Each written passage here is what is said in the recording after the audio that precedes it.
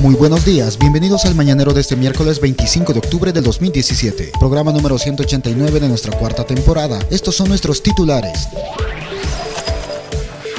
Hoy en nuestro tema del día hablaremos sobre el Foro Departamental para la Prevención del Consumo y Tráfico de Drogas, así como el consumo en números en Bolivia y en Tarija y las acciones de prevención en nuestro sector Mejorando Tarija, hoy mostraremos el avance de la ejecución en el Estadio El Tonel dentro del municipio de Uriondo, escenario deportivo con la capacidad para 15.000 personas que ya se encuentra casi concluido. Tendremos detalles de la reunión multisectorial que convocó el municipio en el Palacio de los Deportes para intentar salir del problema que se tiene con el sector de micros. Sin embargo, los transportistas realizaron una reunión paralela. Hoy conoceremos las conclusiones. En nuestro espacio de tecnología, hoy hablaremos sobre el protocolo BP2 que fue hackeado y que atenta con la integridad de la seguridad en redes Wi-Fi tanto domiciliarias como en oficinas.